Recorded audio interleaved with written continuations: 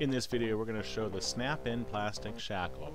Sailrite recommends using the all-nylon flat sail slugs or the all-nylon round sail slugs for its application. We'll show one in this video.